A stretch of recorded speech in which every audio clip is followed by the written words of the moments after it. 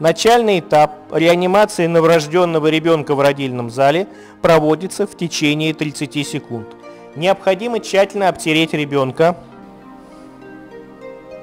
придать положение тела с наклоном головного конца 15 градусов.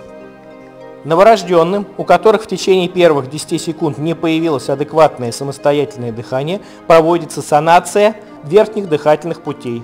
Сначала полости рта, затем носа. Длительность санации 10 секунд. Следует избегать глубокой санации глотки, так как это может провоцировать брадикардию, ларинго и бронхоспазм.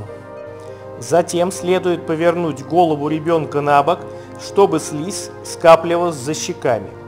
После этого следует в течение 10-15 секунд провести тактильную стимуляцию, похлопать по подошвам, потереть спину. Тактильная стимуляция не проводится у глубоко недоношенных детей. Если после начального этапа реанимации сохраняется апноэ или неэффективное дыхание, или частота сердечных сокращений менее 100 в минуту, проводится искусственная вентиляция легких. ИВЛ проводится с помощью саморасправляющегося мешка типа амбу через маску. Лицевая маска накладывается сначала на переносие, затем на подбородок. Левая рука плотно прижимает маску, правой осуществляется надавливание на мешок.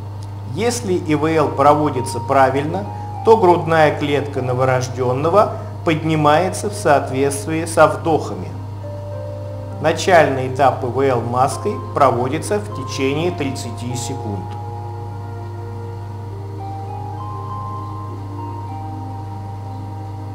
Основным критерием эффективности ИВЛ является частота сердечных сокращений более 100 ударов в минуту. Через 30 секунд после начала ВР следует оценить частоту сердечных сокращений с помощью аскультации в течение 6 секунд. Результат подсчета умножается на 10 и получается значение ЧСС за одну минуту. Если ребенок подключен к кардиомонитору, оценивают его показатели. Если через 30 секунд частота сердечных сокращений менее 100 ударов в минуту, но более 60 ударов в минуту, продолжают масочную ИВЛ с концентрацией кислорода 90-100%.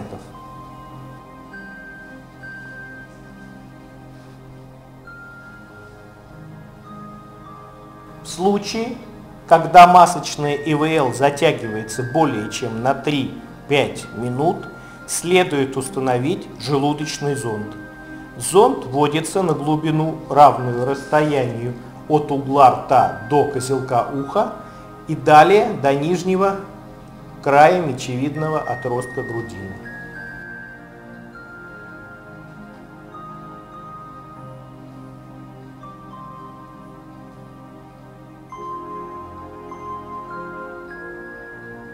После установки зонда проводится аспирация содержимого желудка.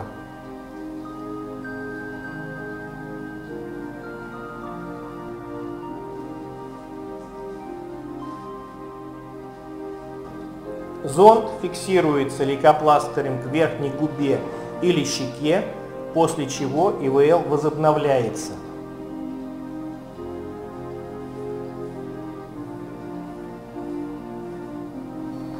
Если после ИВЛ в течение 30 секунд частота сердечных сокращений менее 60 ударов в минуту, следует приступить к непрямому массажу сердца.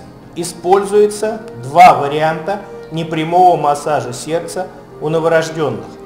При первом варианте большие пальцы двух рук помещают один на другой в нижней трети грудины. При таком расположении пальцев давление приходится на грудину. Остальные пальцы обеих рук находятся на позвоночнике ребенка.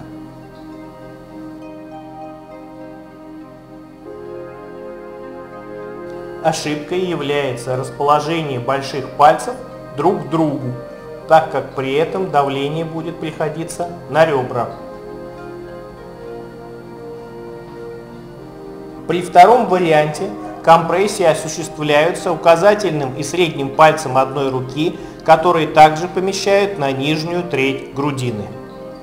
Компрессии производят на глубину, равную примерно 1 трети от передне-заднего размера грудной клетки.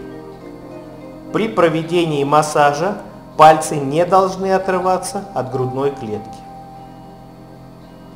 Отражением эффективности непрямого массажа сердца является пульс, который можно пропальпировать на крупных сосудах во время массажа.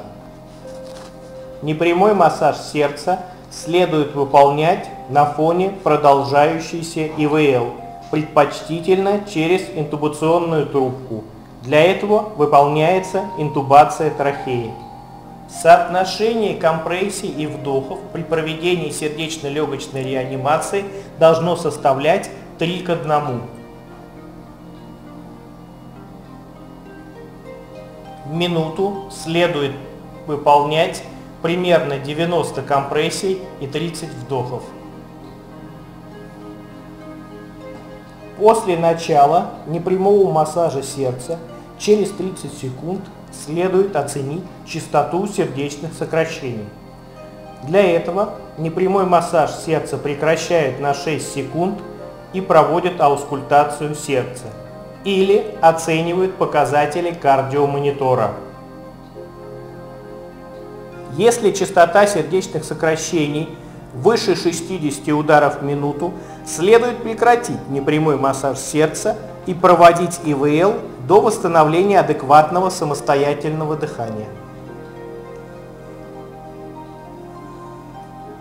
Если частота сердечных сокращений ниже 60 ударов в минуту, следует продолжить непрямой массаж сердца на фоне ИВЛ и начать лекарственную терапию. Если через 10 минут от начала проведения реанимационных мероприятий в полном объеме у ребенка отсутствует сердцебиение, реанимационные мероприятия в родильном зале следует прекратить.